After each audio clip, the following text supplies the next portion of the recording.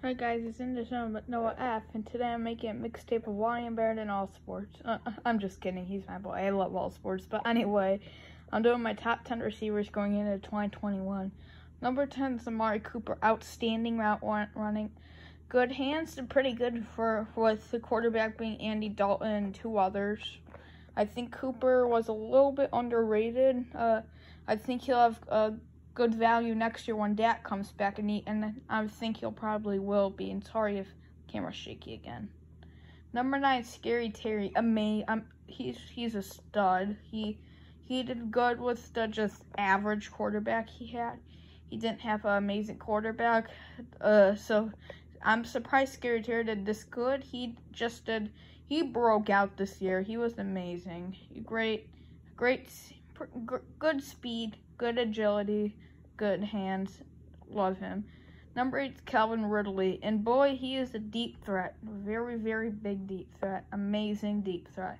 I'm going to be saying deep threat a lot in this video, but I mean Ridley. Uh, for Matt Ryan declining and there being Julio there, I think Ridley's just really good at number eight. Number seven is JJ.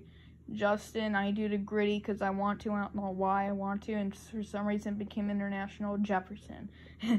Justin Jefferson really had a he had he had the biggest breakout year since any for any receiver since like 2015 2016 he just did amazing justin jefferson great hands uh uh can uh i think he may have to work on a little like of contested catches catching traffic but otherwise um, just amazing number six is gonna be keenan allen keenan allen Ama- uh, he, he, he was really good with the rookie and Justin Herbert.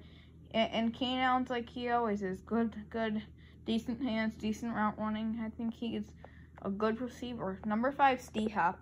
He, he, he, he I, and I know I've said this for every receiver, but he has good hands. He, he He's just, from the Hail Murray, we've proven that he can make many contested catches well just amazing. I think maybe he just needs to work on a couple of more things. But like I wish he were a little a little bit more flexible at another position, but he doesn't need to be. D-Hop's just so good, and they have Christian Kirk. He's a good flexible receiver, so D-Hop's number five. Number four is DK. Just needs to work on his hands a little bit. Uh, great route runner, great uh, great toughness. He could shut off a lot of tacklers. Just sometimes he just uh, has a horrible game. Sometimes he'll get like like 30 yards on three receptions.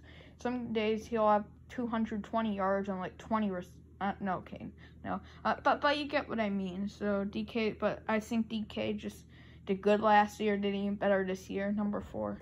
Number three, Diggs had a breakout. I don't know why I traded him for David Johnson. Uh, please don't send this to anyone. I'm just kidding. Uh, so uh, Diggs, uh, just great, and Josh Allen uh, maybe he could go to the weight room, put on a teeny bit more weight.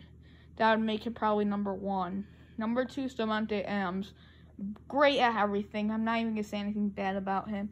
I just think he's a little overrated because if there were no Aaron Rodgers, there would be no amazing Adams. Same for Tyreek Hill, but Tyreek Hill again, all good good rounded receiver. He's he has good he has good weight. He's he's on a little bit on the shorter side, which will uh which which will confuse a lot of cornerbacks, even the good ones. I just think Tyreek Hill is blazing speed, great hands. I think, yeah, he's number one.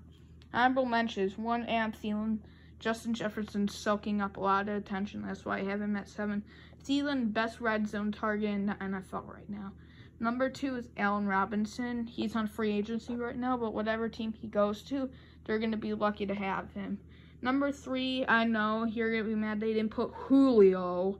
But, you know, CeeDee Lamb, CeeDee Lamb has the better quarterback. CeeDee Lamb's a he could play like five positions if he wanted to. And he's uh he has really good hands. So that's gonna be it. And well, well, okay, this is my new house window, so I'm not gonna be showing the old one anymore. But uh have a good day guys and uh and see you later. Bye.